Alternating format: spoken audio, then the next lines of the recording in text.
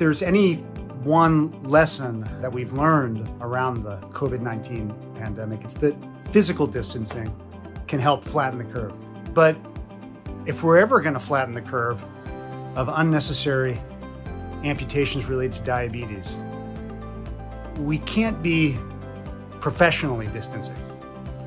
And that's what DFCon has been all about in the 20 years of its existence. It's been about bringing people together.